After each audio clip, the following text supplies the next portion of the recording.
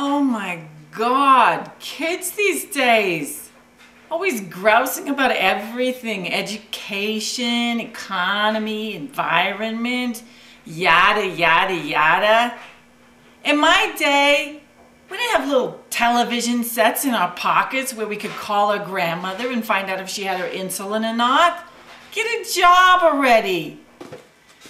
And all this save the environment nonsense. Oh my God. In my day, humans were humans and animals were animals and everybody knew their place. None of this save the whales, save the dolphins, save the endangered squid monkeys.